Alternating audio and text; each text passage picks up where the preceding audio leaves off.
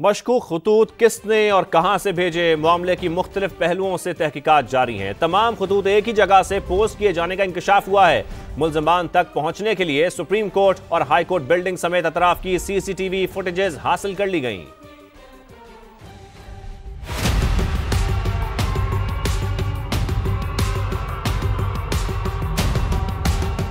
खत का मजमून एक, धमकी एक खतरनाक पाउडर भी वही। काउंटर टेररिज्म डिपार्टमेंट ने तफ्तीशी घोड़े दौड़ा दिए।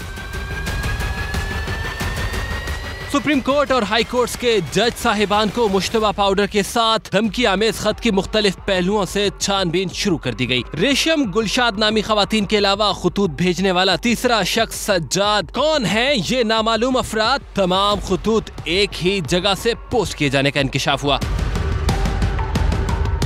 माहिरीन के मुताबिक तमाम खतूत sub divisional post office satellite town Rawalpindi से भेजे गए। तमाम खतूत पर स्टैंप इसी सब डिविजनल पोस्ट ऑफ़िस की लगी है।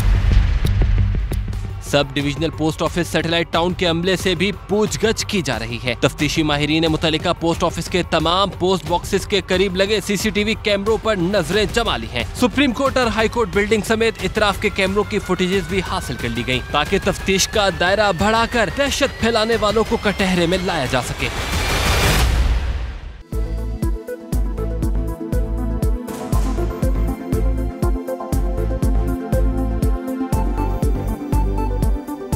असलम आप देख रहे हैं समा, मैं हूँ शाहजेब अहमद। मैं हूँ किरण आफ्ताब। सबसे पहले बात खतूत की। मशकूक खतूत पर सियासत नहीं, ज़िम्मेदारी का मुजाहरा करना चाहिए। वज़ीर आज़म ने मामले पर तहकीकात का ऐलान कर दिया। कहा चाहते हैं दूध का दूध और पानी का पानी हो जाए। जजेस के खत पर इंक्वायरी कमीशन बनाकर हुकूमत ने ज़िम्मेदारी पूरी की थी। अब सुप्रीम कोर्ट ने खुद नोटिस ले लिया है। वजी आज़म ने मुल्क की तरक्की के लिए आई एम एफ़ के नए प्रोग्राम को नागुजीर करार दिया। साथ ही खबरदार कर दिया कि नए प्रोग्राम की शराइ आसान नहीं होंगी।